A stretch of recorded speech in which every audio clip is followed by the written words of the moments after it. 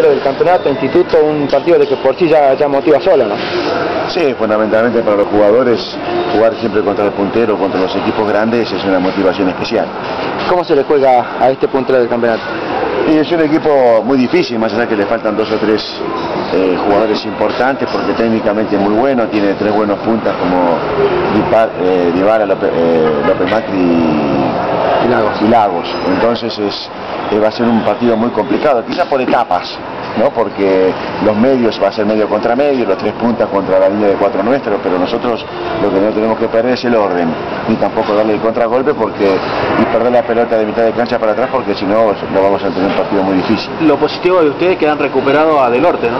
Sí, Alejandro es un jugador importante en el funcionamiento porque siempre es un delantero que complica a las defensas rivales por su potencia y por su altura. Recién hablaba del orden, ¿qué le estaría faltando a este equipo? Porque el orden ya lo ha conseguido.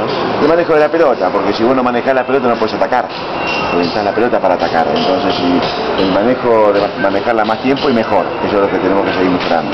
¿Y se puede, se puede eso atacar a, Instituto, un equipo que, obviamente va a salir a hacer, eh, hacer su juego, a ser protagonista? Sí, si le quitas la pelota, sí. O sea, si la compartís, o sea, si no le das mucho tiempo a la pelota de instituto y cuando vos la quitas la manejas bien, sí, claro que lo tenés que atacar.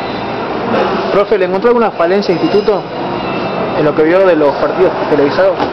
Y falencia, o sea, como todos tenemos falencia. Lo que pasa es que tiene muchas cosas buenas y por supuesto tenés que tener paciencia, porque es un equipo que creo que nosotros con las, con por, los costados o con las pelotas paradas por algún full, tiro libre, corner, podemos tener una ventaja. ¿Es lindo ser juez eh, del campeonato? Eso, estos partidos son importantes, nosotros lo que tenemos que sumar.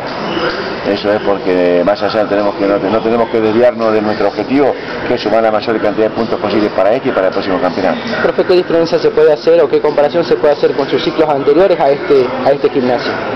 Y son momentos diferentes, porque también eh, la segunda vez que vinimos había otro plantel, este plantel lo, vimos muy... Eh, muy caído porque había perdido 15, casi 15 partidos seguidos, hacía un campeonato casi que no, no sacaba un punto visitante, o sea, estaba muy mal anímicamente y no conocíamos prácticamente ningún jugador, salvo dos o tres. Entonces, eso ha sido no había una base, como hubo en otros, en otros, en otro momento de equipo, porque también había habido muchos cambios en, los, en el equipo que jugaba. Entonces, digamos que hubo que hacer en poco tiempo un trabajo bastante importante, fundamentalmente de mentalidad.